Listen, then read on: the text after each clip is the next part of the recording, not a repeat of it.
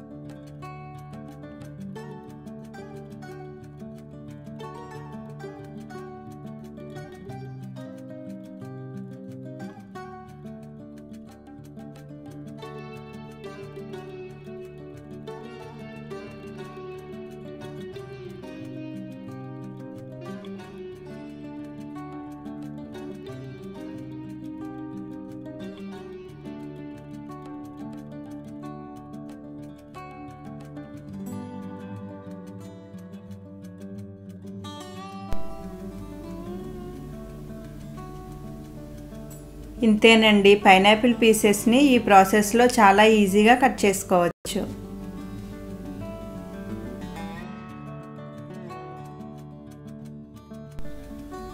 మన ఛానల్ని ఎవరైనా మొదటిసారి చూస్తున్నట్లయితే please subscribe my home tunes. అలాగే పక్కనే ఉన్న గంట సింబల్ మీద ప్రెస్ చేసి ఆల్ అయిన ఆప్షన్ మీద క్లిక్ చేస్తే నేను ఎప్పుడు వీడియోస్ పెట్టినా మీకు నోటిఫికేషన్ వస్తుంది. ఇలా పైనాపిల్ పీసెస్ని కట్ చేసుకుని